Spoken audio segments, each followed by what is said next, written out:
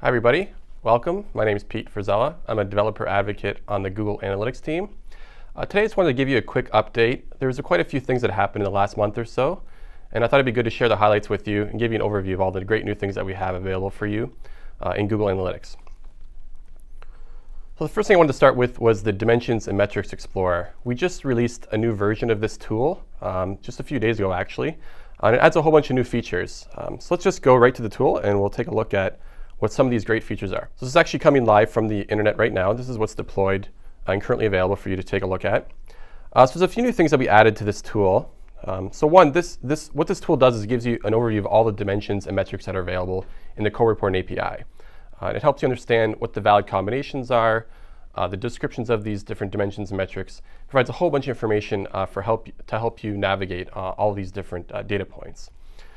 So one of the first new things that we added was an ability to switch modes. So prior to this update, um, there was only really one way to look at this data, which was the API names.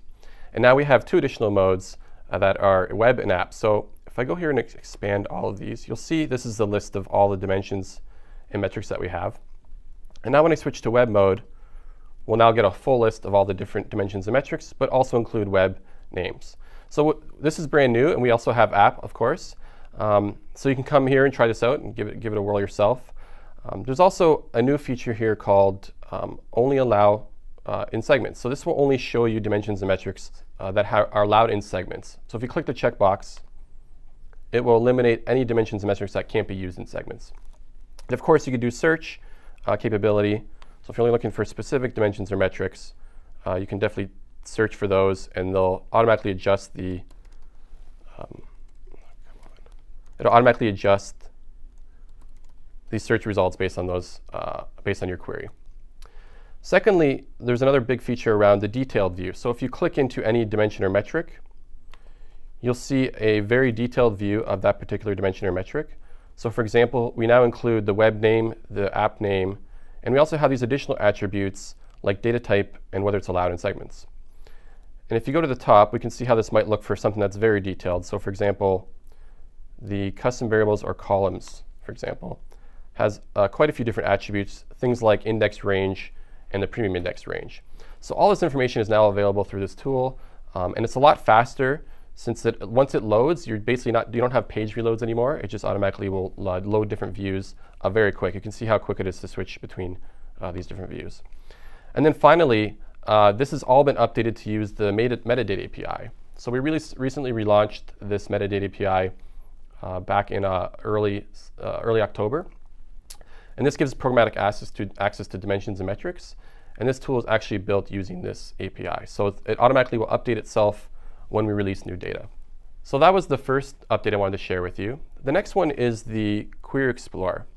So a lot of you are probably familiar with this tool. Um, it's a great way to explore your reporting data from the core reporting API. And it gives you access to uh, all of the dimensions and metrics and you can query up to seven dimensions uh, and 10 metrics uh, in a query. So it gives you a lot of data that you can pull out of the core reporting API. So this is what it looks like. I think probably a lot of you are familiar with it. So let's just take a look at uh, the tool itself. This is another, again, a live, uh, live view. So I think this is um, something that you probably wouldn't notice that we've updated this, but um, some of you may have caught it. Um, but we've actually updated this tool to use the uh, metadata API. So again, this was a new API that we released, and it allows programmatic access to dimensions and metrics. Um, prior to this, the Query Explorer was using um, kind of a static way to, to bring in this data. And now it's actually all being dynamically loaded into the Query Explorer. So what you're going to notice, and a little bit different from you guys, is that you get a little bit more data for each particular dimension or metric. You'll see on the right-hand side uh, in this view, you'll see how it's changing uh, as we scroll over different dimensions and metrics. Uh, this is all actually being generated dynamically and coming from the metadata API. So the good thing for you guys is that it's giving you a little bit more data, um, such as the data type and whether it's allowed in segments. So this information is now available uh, through the Query Explorer. And this is something that's new. Uh, wasn't really publicly announced or anything, but um, this is a great, great little update that gives you a little bit more information. And it's a good way to showcase how you can use the metadata API. Uh, if you're interested in this kind of information, uh, such as dimensions or metrics, both of these tools really highlight how you can build these applications using the metadata API. So if you're interested in that, you can definitely visit our developer site and learn a little bit more about that API and, and it, how it works. Great. So those are two quick ones, um, but pretty, pretty big changes for some of you. I think um, in terms of getting that access to all the core reporting data. So let's go back into the presentation. A new parameter that we introduced into the core reporting API um, this past month, um, it's called the sampling level. And this is kind of an effort to bring the core reporting API to be a little bit more consistent uh, with the experience that you have in the web interface, for example. And this is kind of important. Um, for so some of you, you've probably been in the web interface, you've done a report, maybe a custom report, or some, seen some query, and you'll notice that it says that it's a sampled, um, it's actually sampled based on a certain number of visits, right? And if you click this little, um, this little icon in the top right-hand corner, you get this drop down, and you're actually able to like slide this, this little control back and forth to either go for faster processing or higher precision. So this actually controls the sampling rate um, for your particular query. This uh, was not available in the core reporting API prior to this update. Uh, and now we've added a new parameter that brings it kind of in consistency, uh, this consistency across the two. So what does this actually mean? Um, so from your perspective, if you're querying using the core reporting API, there's now this new parameter called sampling level, which you are able to set when you make a request to the core reporting API.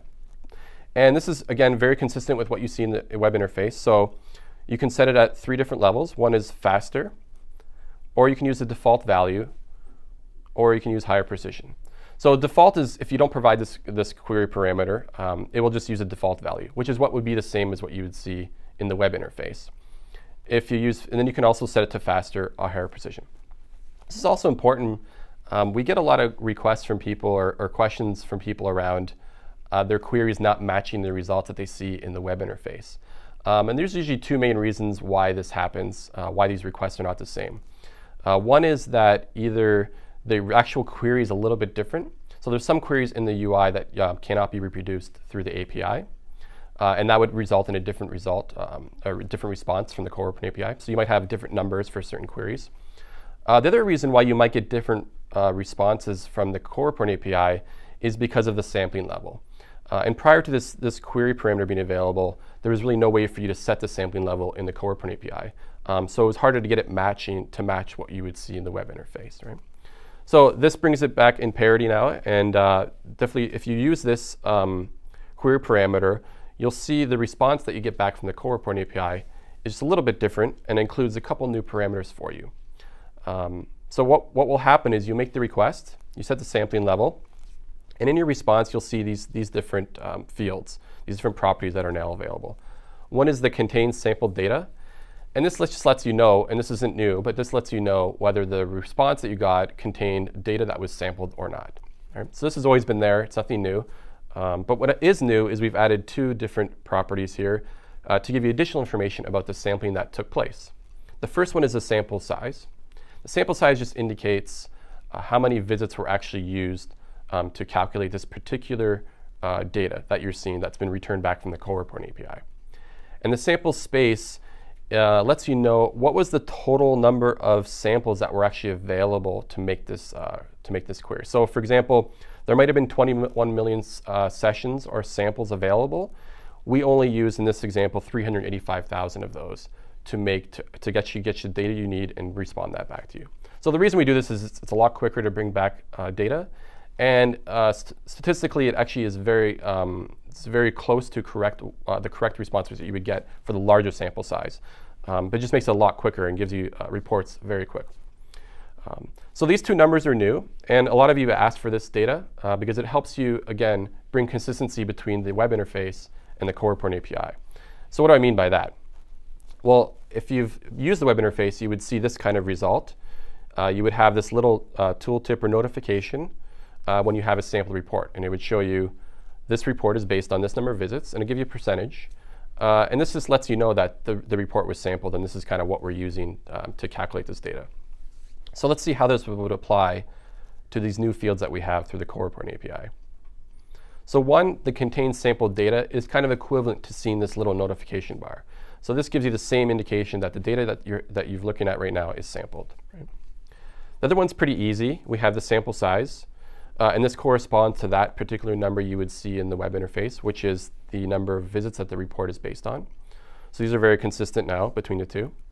And then finally is that you may want to be able to calculate this 1.77%. So you want to calculate this kind of coverage or percentage of visits that are used. And we can use the sample space to figure out this calculation. And it's quite straightforward. We know the sample size and we know the sample space. So it's just a matter of dividing these two um, to get your percentage of visits that are used. Right? So with, these, uh, with this new parameter and these new properties that we have available in the response, you can be consistent with uh, if you're building an application and you want to be able to expose this information to your, your users, uh, these properties allow you to do that. Another thing that we uh, released this past month was relative dates in the core reporting API. Um, so again, this was another feature that was uh, requested by um, some users, um, and it actually is pretty powerful, and it, and it, helps if you're trying to build reports that are kind of ongoing, uh, and you want them to be relative to a specific date, for example. Um, so how this works is, whenever you make a, a, request to the core reporting API, there's always two parameters that you, uh, so there's a couple parameters you need to provide, and two of them are the start date and the end date. So what period of data, um, what period of time would you like this data for? Um, so the acceptable values were always, have always been, of course, the year, month, day, uh, which is what everybody's been using for uh, since the inception of the Core Reporting API. Um, and we've added three new different values that you can provide uh, in place of this standard year, month, day. Uh, they are today, yesterday, and n days ago. So with these three values, you can basically create any query you'd like with relative dates um, for any period of time. Right? It gives you that kind of flexibility um, to do that. Um, and I'll show you what that means in a second here. So for example, just say you have a report and you don't want it to be set date, you just want it to be every seven days. So anytime you query for this data, you just want the last seven days worth of data, right? So with these new parameters, you could set the start date to, for example, seven days ago, and the end date to yesterday. And this would give you the last seven days starting from yesterday. I it always give you that last seven days uh, no matter when you query it, right? Because we're now we're using relative dates.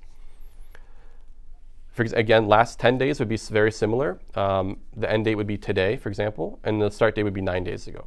So you got to be careful here. And something you want to make note of is that when you're looking for something like the last 10 days, uh, and you're including today, intuitively you might think that it's 10 days ago, but it's actually nine days ago to actually include that full 10 days. So just something to keep in mind uh, when you're making these queries and setting them up. Make sure you're actually getting the correct number of days that you think you're getting uh, based on the n days ago um, uh, parameter. And then finally, for just a simple example, but if you're going to do today now, you can do something like you always want today's data. Then you would just start the uh, set the start, start date to today and the end date to today, and you would get the data always from today. Another thing, important thing to note is that this is based on the time zone that's set in your uh, particular profile. So if you are set for Pacific time in your profile, these relative dates will be resolved to real dates based on that, that time zone. So just something to keep in mind again. Um, that's, that's how it works. Pretty straightforward, uh, simple feature, but um, definitely something that gives you more flexibility in terms of how you want to set up your reports. And then recently we re released some new data in the Core Report API. Another, again, feature that are, are, data points that people were asking for for quite some time. Uh, it was one of our top feature requests on our issue tracker was AdSense data. So we've added a whole bunch of new AdSense metrics. Um, you can visit the Dimensions and Metrics Explorer to look at those, uh, those metrics and see what they are and learn more about them. Um, we also added a few more time dimensions, um, GA, GA, ISO year and ISO year, year, ISO week. And again, these work with the ISO week um, dimensions, and they should be used together and not used with the Gregorian uh, calendar entries like GS, uh, GAI, uh, GA week should not be used with these ones. Uh, but again, these were features that people have been asking for uh, for a long time. So if you didn't know we released those, you can definitely take a look at, at those now. And then finally, we added a new AdWords, um, the add keyword match type, which basically shows you which uh, keyword types were applied or which match types were applied to a specific keyword. Again, these are all available through the Dimensions and Metrics Explorer. You can check them out. And, uh, and they're available, of course, in the Query Explorer, Query Explorer so you can go in there uh, and try the data out and see what it looks like. All right, so that this is this is kind of a, a, wrap up. Those are the big features we released this past month. There was a lot of data um, that we released. There was some new dimensions in Metrics Explorer and the Query Explorer, and of course a new sampling level parameter. Um, all of this can be uh, learned. You can learn more about this from the Core Report API reference, uh, and of course you can visit the tools themselves uh, at the at the resources that we provided here. And then also going forward, how do you stay up to date? So we release a lot of things in the API um, developer relations, we do our best to make sure you guys understand uh, what's coming out and, and what features uh, might be relevant to you. Uh, but you can always visit our blog at analytics.blogspot.com and get updates there. We have our Google Analytics uh, G Plus profile, and of course you can follow me at Pete Frisella, and I usually will post things that we that we release so everybody can learn about them. Um, and then of course I really recommend you subscribe to our change logs. We have a great set of change logs, uh, especially if you're using the core reporting API and the management API. Um, we have some detailed uh, change logs for you, and you can subscribe to them uh, through RSS feeds, um, or you can just visit the page itself and take a look. Great. With that, I'd like to thank you for joining me today. Uh, it was quick, but the update has been completed, so thank you very much, and I'll see you next time.